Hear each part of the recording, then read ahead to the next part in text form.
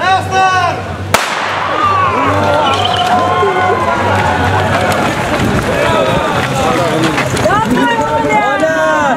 Старт пятикилометрового забега по Анапе через Ореховую рощу, набережную, мимо музея Гаргипия. Первые на финише – анапчане, воспитанники спортшколы «Олимп». С помощью этого мероприятия, я думаю, поднимает дух города.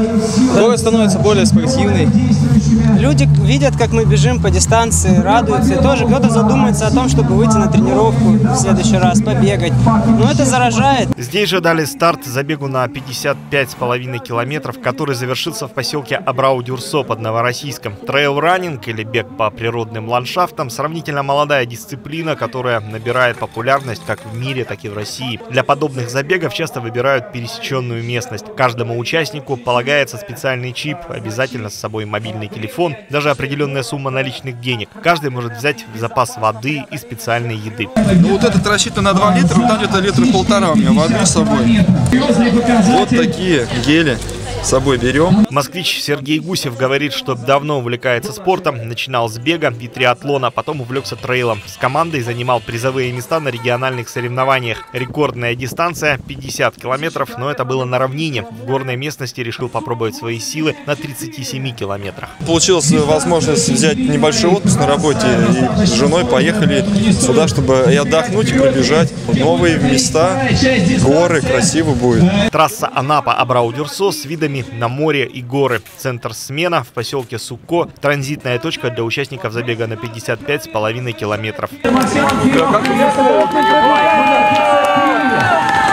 Здесь же конечная точка 18-километровой трассы. Первым финишировал Максим Суслов из Челябинской области. Да я просто поехал, поехал девушку поддержать, просто, ну, как бы, подбодрить ее. Она сейчас бежит. А так, ну, я как бы не спланировал. До конца бились. Умница. В честной борьбе проиграл. Все супер, спасибо большое. Соперник Максима, ставрополец Дмитрий Погоский, говорит, что тоже не рассчитывал на призовое место. Саму гонку назвал интересной. Вроде бы легкая трасса, там не больше троечки, дождя не было, спасибо погоде опять же за это. Но последний подъем очень сильно, очень сильно убил. И вот эта галька, конечно, невозможно после подъемов и спусков ней бежать. Так что очень ровная, очень хорошая гонка.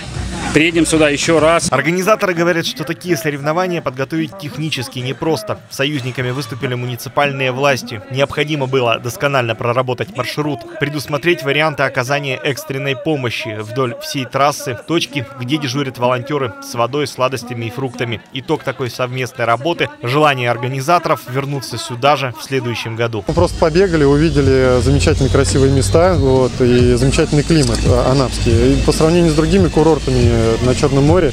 В Анапе воздух очень подходит для занятий спортом. Он более, он, он сухой. Вот. В то время как в других э, курортах он более влажный.